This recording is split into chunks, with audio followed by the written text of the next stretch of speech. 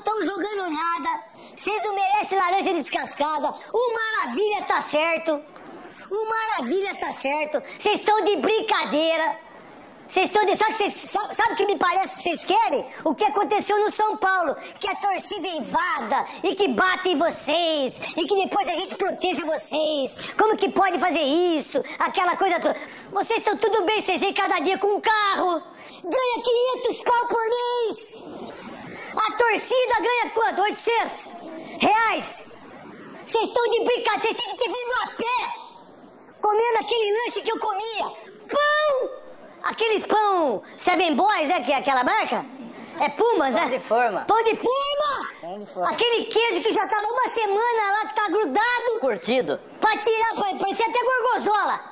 E o presunto, aquele presuntão, não é o presunto sadia, não, rapaz. É presuntão. Vocês estão de sacanagem! Vocês não correm! Pra não falar outra coisa, pra não tomar processo, no seis. Aí, Flávio Adão, Alessandro, vocês estão fazendo o que aí como diretor? Seus serruela!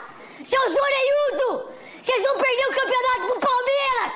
Aí sim, sabe quem que vai aguentar? Eu! Eu que tenho que aguentar chegar na Band aqui, o porteiro! E aí, como é que foi? Como é que foi a sua mãe?